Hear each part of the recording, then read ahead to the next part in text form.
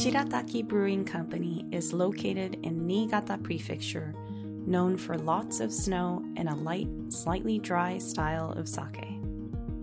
The water they use from their three different wells is especially soft even within Japan, which is excellent for brewing.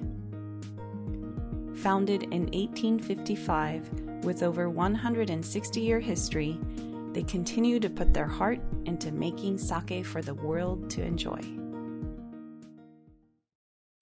えー、白滝酒造の、えー、バンダイと申します。弊社の蔵は、えーと、新潟の越後湯沢というところにございますが、えー、日本でも有数の豪雪地帯に位置しておりまして、えー、特に冬場は、えー、生活を送る面では非常に不便ですが、えー、酒造りにおいては、え、本当に、えーと、適しております。多い年ですと、え、雪が、え、3メートル以上積もりまして、え、雪が降ることによって空気中の埃や、えー、塵を吸着して落とすため、え、空気が、え、澄んで、え、気温も低くなりますので、え、酒造りに、え、理想的な環境となります。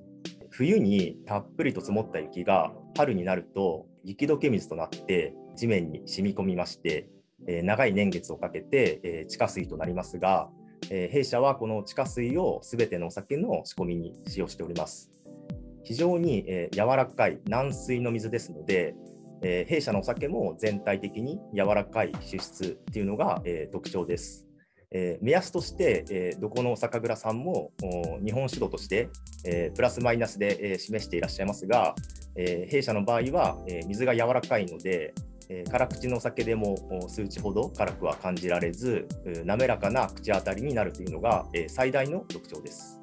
上善水のことし、えー、純米吟醸は、えー、雪解け水のようにシンプルで清らかなお酒というのが、えー、コンセプトになっておりまして柔らかくてすっきりとした味わいが特徴です非常にスムースで、えー、飲みやすいので、えー、日本酒をあまり飲んだことがない方や少し、え、苦手イメージをお持ちの方、え、に日本酒を好きになるきっかけとなっていただけると嬉しいですえ、アメリカの皆様、え、いつもあの上善水のごとしをご愛顧いただきまして、え、誠にありがとうございます。